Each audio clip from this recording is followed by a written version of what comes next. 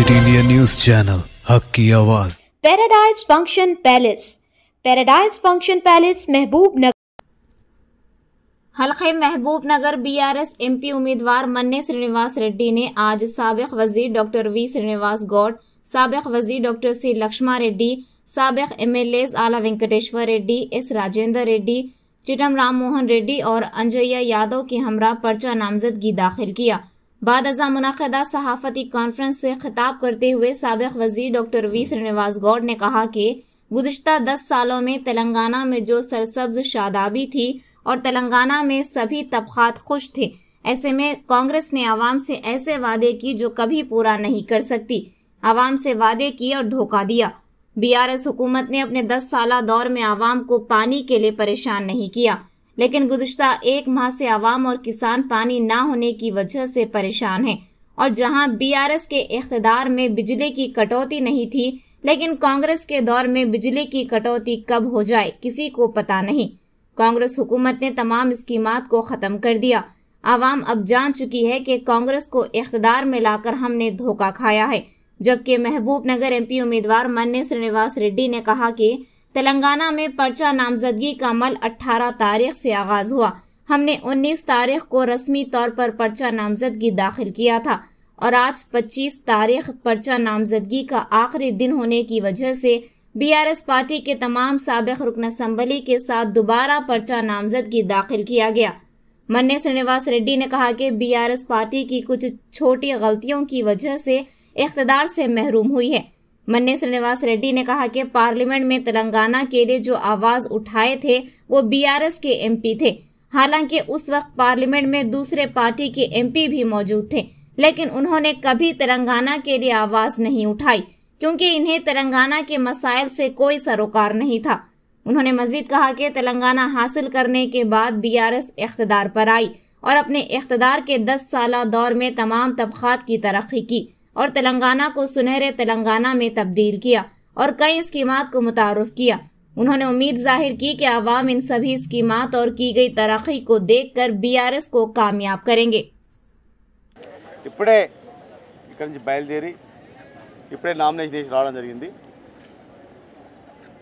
గత నెల రోజులుగా తెలంగాణ వ్యాప్తంగా ముఖ్యంగా ఈ మహబూబ్నగర్ జిల్లాలో కరువు కాటకాలతో ఎన్నో కష్టాలతో యాభై ఇరవై సంవత్సరాలు ఉడికిపోయినటువంటి తెలంగాణ రాష్ట్రం వచ్చిన తర్వాత పది సంవత్సరాలు సుభిక్షంగా ఉండి రైతాంగము పేద బడుగు బలహీన వర్గాలు మైనార్టీలు సబ్బండ వర్గాలు సుఖ సంతోషాలతో ఉన్నటువంటి తెలంగాణ మాయ మాటలతో అసత్యపు ప్రకటనలతో హామీలతో అధికారంలోకి వచ్చినటువంటి కాంగ్రెస్ పార్టీ వంద రోజులైనా కనీసం ఈరోజు పరిస్థితులు చూస్తుంటే పట్టణాలు చూస్తే నీళ్ళు కూడా కరువైపోయింది. కరెంటు ఎప్పుడు ఉంటుందో ఎప్పుడు పోతుందో ఎవరికి తెలియదు అర్ధరాత్రి ఆపద వచ్చినా ఈ ప్రభుత్వం ఉంది నన్ను ఆదుకుంటుంది అని ఒక భరోసా ఉండేది. ఎల్ఓసీలు లేవు కళ్యాణ లక్ష్మి లేదు తుల ఉంగరం లేదు రుణమాఫీ లేదు. సాగునీరు లేవు. తాగునీరు లేదు. రైతు బంధు లేదు. ప్రతి మహిళకు పెన్షన్ ఇస్తాను? ఆ పెన్షన్ లేదు. ఈరోజు దిక్కు తోచని స్థితిలో అయ్యో మోసపోయినాం. ఎట్లయిపోయింది కదా తెలంగాణ? ఎంత పని చేసుకుంటామని చెప్పి ఆవేదనతో ఉన్నటువంటి తెలంగాణ ఆవేదనతో ఉన్నటువంటి మహబూబ్నగర్ జిల్లా ఖచ్చితంగా బీఆర్ఎస్ పార్టీకి పట్టం కట్టడానికి ప్రజలు సిద్ధంగా ఉన్నారు. పార్లమెంట్ ఎన్నికల సందర్భంగా మేము మొన్న పద్దెనిమిది తారీఖు నుంచి ఇరవై తారీఖు వరకు నామినేషన్ నామినేషన్ల ఘట్టం స్టార్ట్ అయింది. పంతొమ్మిది తారీఖు నాడు నామినేషన్ మేము మామూలుగా వేసినాము. ఈరోజు లాస్ట్ డేటు.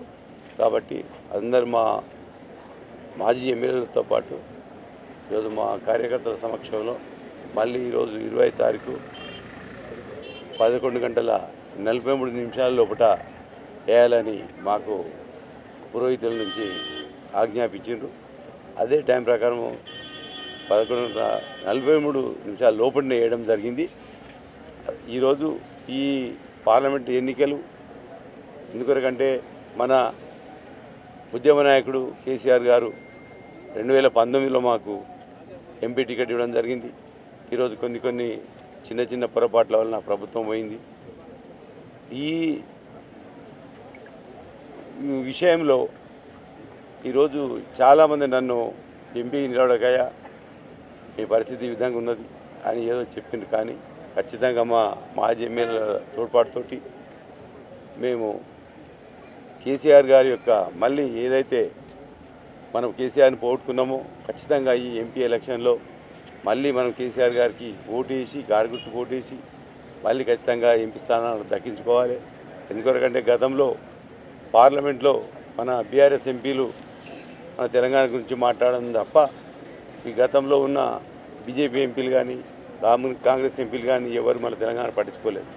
ఎందుకంటే ఈరోజు ఈ పది సంవత్సరాల లోపల మనం ప్రభుత్వం యొక్క విధానాల వలన ఈరోజు మనం ఎంతగా ఎంత గొప్పగా ఆర్థికంగా అభివృద్ధి చెందామో ప్రతి ఒక్కరికి తెలుసు. నీళ్ళ విషయంలో కానీ ఈరోజు వ్యవసాయదారులు పంటలు పండించే విషయంలో కానీ అన్ని రకాలుగా ఈరోజు కేసీఆర్ గారు వాళ్ళకి తోడ్పాటుగా ఉండి ఎలా ఇరవై నాలుగు గంటల కరెంట్ ఇచ్చిండు రైతు బంధు ఇచ్చిండు.